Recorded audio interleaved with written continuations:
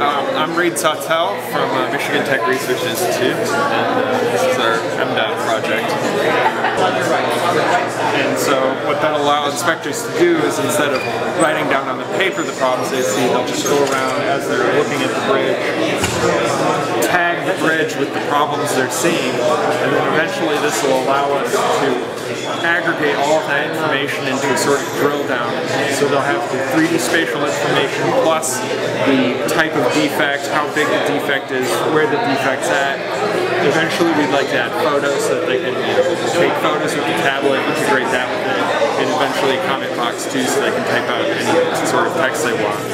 And so that'll allow them to eliminate that uh, paper clipboard that they have to lug around and really give them a really finer detail about the problems that they're seeing on bridges. and They have all that information available to make a decisions